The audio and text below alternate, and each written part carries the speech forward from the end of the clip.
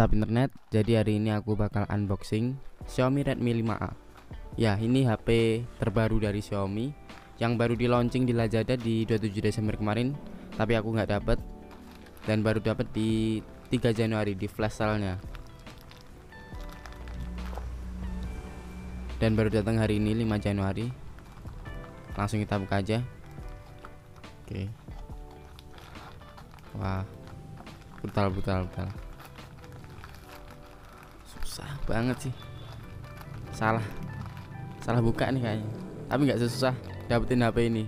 Wah di flash sale-nya aja itu 10 menit udah habis. HP ini bener-bener laku gila. Karena harganya sih yang parah. Murah banget 999.000 rupiah. Katanya sih HP terbaik di kelasnya.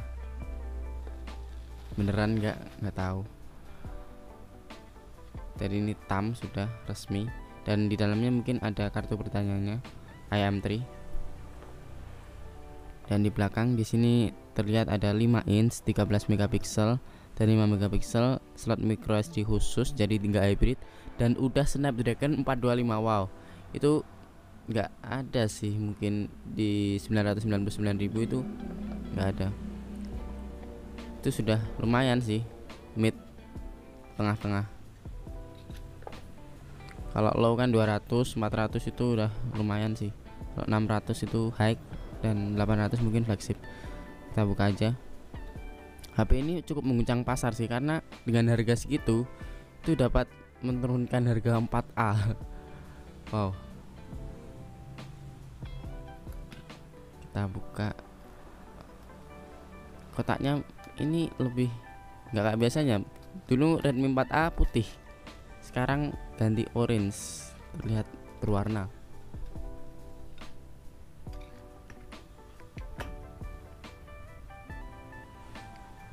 Kita buka oke. Jadi ini penampakan HP-nya wow terlihat beda sih sama Redmi 4A oke ini warna grey ya sebelumnya kita lihat dulu apa isi boxnya. Ini ada buku panduan. Siapa hari ini yang masih baca buku panduan? Kayaknya nggak nggak ada sih. Dan ini kartu pertanyaannya mungkin udah dicoba mungkin di dalamnya udah di dalam HP si SIM-nya. Dan ini chargernya 1000 mAh ya. Jadi 1 ampere. Dan ini kabel USB nya masih pakai USB biasa. Dan ini SIM ejector gimana ini? Oh oh gini.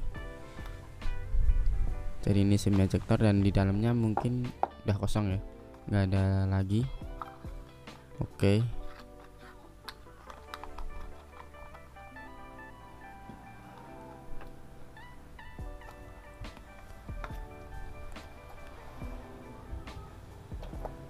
Oke sekarang kita hidupin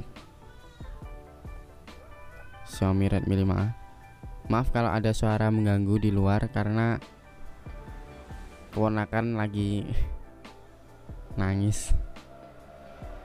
Dan suara jalan yang wow mengganggu.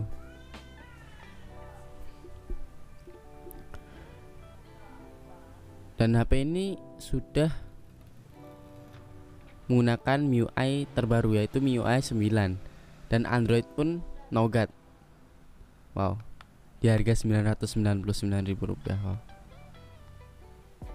Tapi kayaknya biasa. Oke, kita buka. Sebenarnya spesifikasi seperti ini sudah biasa sih. Build quality, build quality, build quality-nya plastik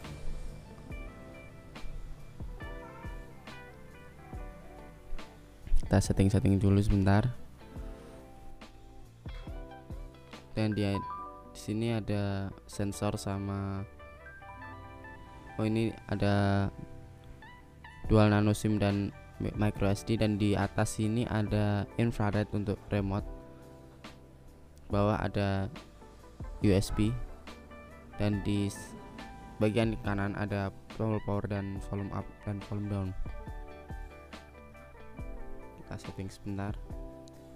Ya jadi baru di setting sebentar tadi. Dan ya ternyata lumayan kenceng sih.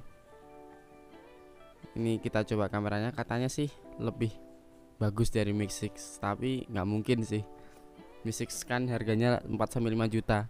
Masa lebih bagus dari Mix 6 tapi kita coba dulu.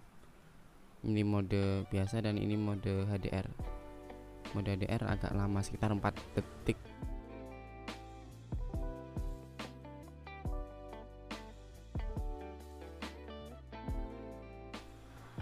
Oke dan di sini ada banyak sekali pilihan optionsnya. Oke sekarang kita lihat uh, about phones yaitu kita lihat tentang ponselnya. Nah di sini sudah Android versi 7 yaitu Nougat. Dan di sini ada MIUI 9 RAM-nya 2 GB internal memorinya 16 GB dan bisa masih bisa ditambah di eksternal memori.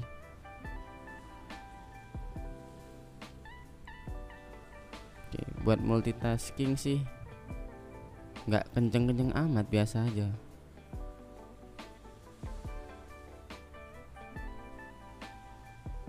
sebenarnya ini biasa aja sih. Spesifikasinya standar. Bahkan ini sudah di bawah sih. Kurang kalau internal 16 itu. Tapi di harga segini nggak ada HP lain. Jadi yang buat spesial itu harganya. Dari spesifikasi yang biasa aja dari jadi luar biasa. Dan ini udah MIUI 9 jadi ada split screennya. Bisa digunakan seperti ini. Sambil browsing sambil buka YouTube. Dua layar seperti ini. Membantu banget sih. Membantu banget.